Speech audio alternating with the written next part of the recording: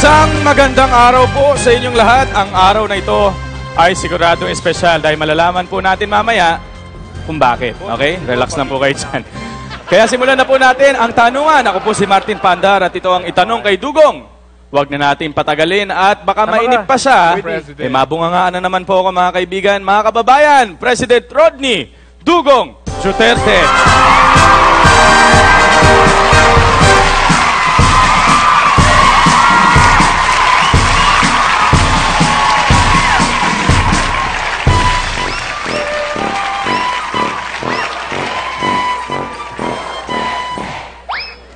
Magaling. Prakti- Galing, Mr. President. Praktisado na po.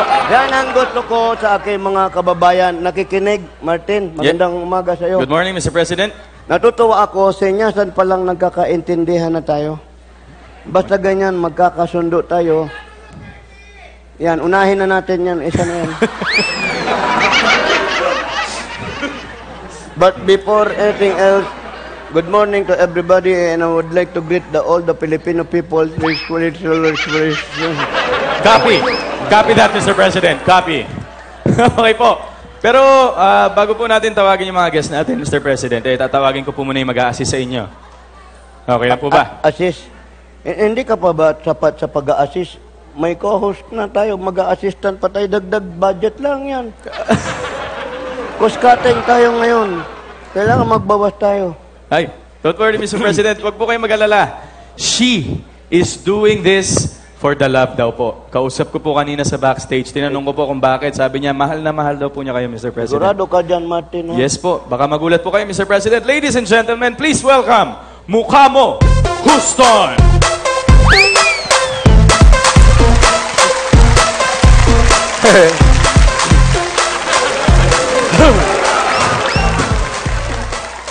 Magandang hapon sa inyong lahat. Ramdam na ramdam ko ang high spirit ng mga tao ngayon. Kaya nga nag-high heels ako. And excited na akong magsimula. Martin, ano pang inaantay natin? Ah, may hinihintay ka ba? Ah, wala pa, wala pa. Wala pa. Sabi ni Martin sa akin, magko-co-host daw ka daw dito for the love. Tama ba yon? Yes, Mr. Presi. Hindi lang for the love. Hindi for the sake of arts. Wow. Anong ibig sabihin nun? For the sake of Ano? arts. Ano ibig sabihin nun? Basta, Presi, be alert. And get us gone. Let's get the balls rolling. Hoy! Psst! Anong balls? Bawal yan. Ball lang. Anyway, mga kaibigan, palakpakan natin ang ating mga tanyag na panauhing basketballista ngayong araw na to. Sandali lang, Martin. Oh, na, maka, maka mo. Baka ka pwede na muna na pabayaan natin si Martin ang mag-intro. Ah, pwede naman po, Mr. Presi. Oh, yun. Salamat. Nakakahiya naman sa'yo. Okay lang ba sa'yo? No problem, Presi. Alam mo, mas mabuti pa siguro magpunta ka muna doon sa bandaron sa pwesto doon. Ayun. Ah, dito na lang, dyan. Presi. Ah. Dito, Presi. O sige, ikaw din nasunod. Di dyan ka. Oo nga po eh. Pambihira to, hindi sumunod sa presidente. Sabi ko, doon, doon nagpunta. O, dyan ka na lang, dyan mo gusto. Sige. Mag-abot ka ng mga tu- tuwalya, ha? Bakit, Presi? Ah, paliliguan ko ba sila? Anyway. mga kaibigan, kasama natin ang tatlo sa mga future ng Philippine basketball mula sa Gilas Cadets na nag-champion sa 2017 SEA Games. Please welcome Bobby Ray Parks Jr.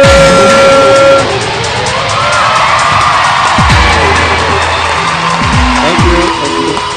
Don. Apo. Alright. Op. Okay. Yan, ang next naman nating guest, ang 2016 Rookie of the Year, Chris Newsom.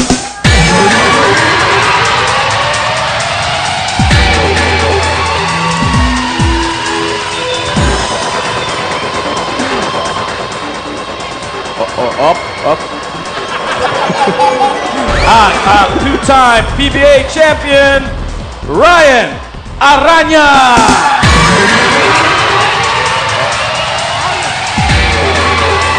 Up, up, up, up, up, up, up, up, up. Oh yeah, oh yeah. Magandang hapon sa inyo. Mga sir, pati muna kayo sa ating mga televiewers.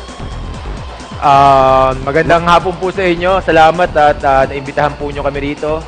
Ah, ang gwapo nyo po, pala, po pala, Mr. President. Huwag na natin palakihin to, right? Salamat, Ray. Ayan, maraming salamat. Maraming salamat po sa inyong pagdala. Umpisa na natin. Ah, maaari na kayong magtanong sa ating ah, mahal na presidente. Bobby, please start. Good afternoon, Mr. President. I just Hey. wanted to ask, what can you say about basketball shorts then and basketball shorts now? Up, Mr. President. Alam mo, natutuwa ako dito sa anak ni Norman Black, di ba?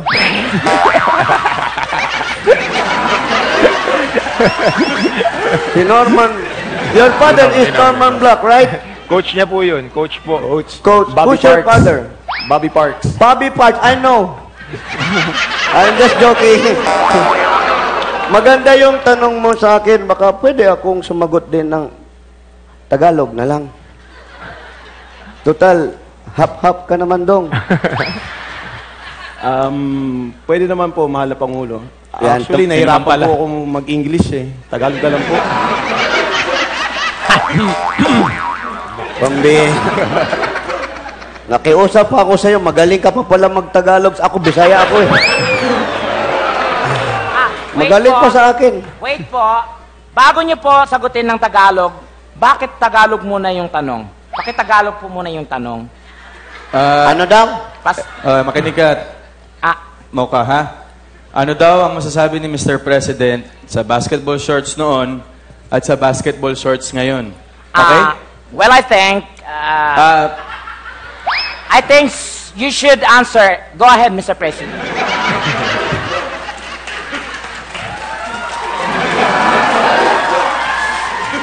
Sa akin mo rin pala ibibigay. Naku, mahirap lang pumatol sa babae talaga.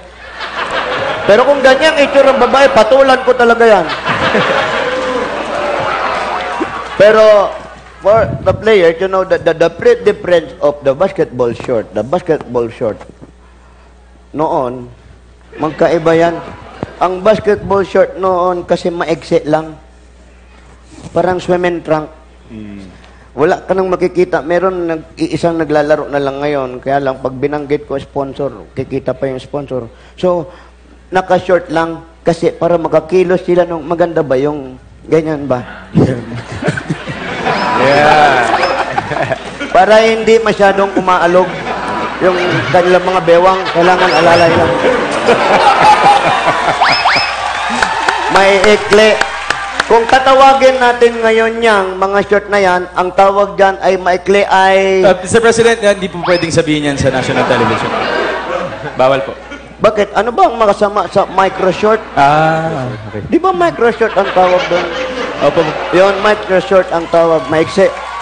Okay, I agree da, Presi. Pero ang tawag namin doon Ay, ay... yung bibig mo! Bawal nga eh!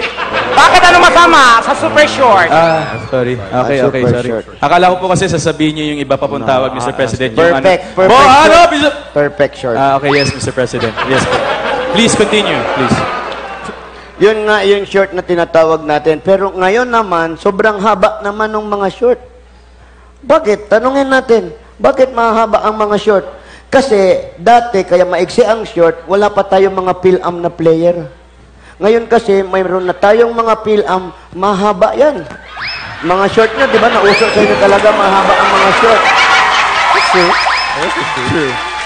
Pero lagi kayong ganon ng ganon, yung angat ng angat ng singit, Makati ba yan? Kasi mahaba, mainit, ginadagyan. Maganda, maganda. Yeah. Thank you. Thank you, Mr. President.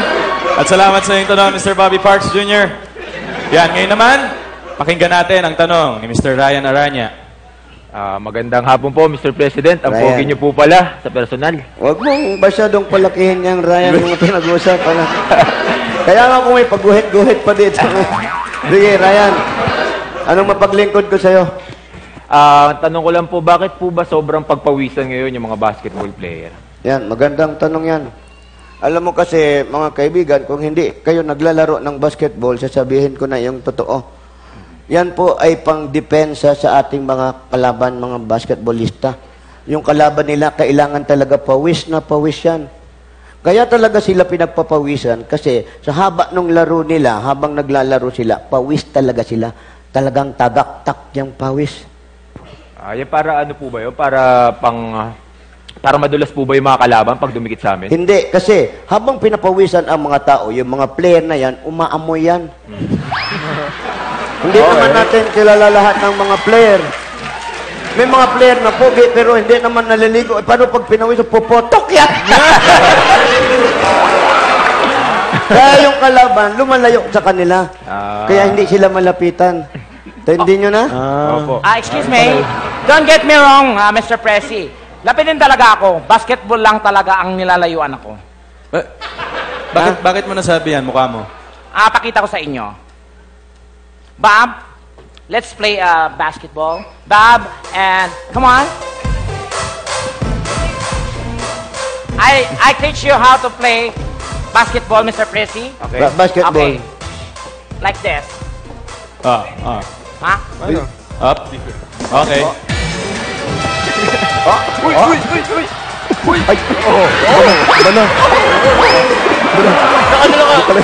Ay!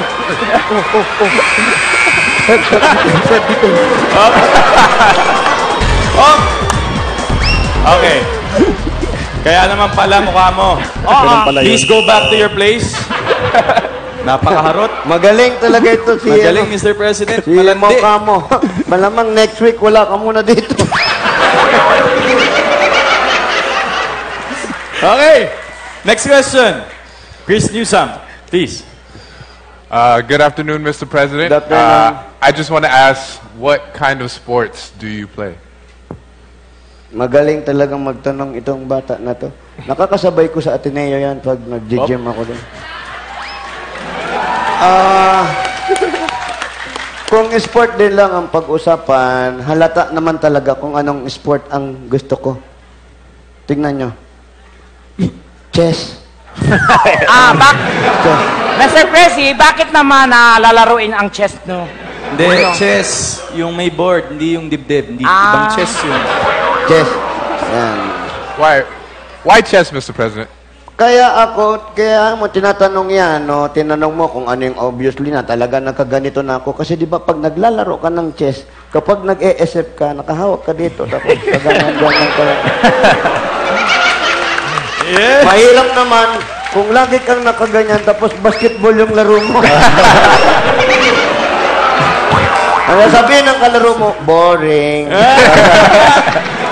Thank you. Napakahusay, Mr. President. Bueno, ubus na po ang oras natin dahil inubos po niya sa mga tanong.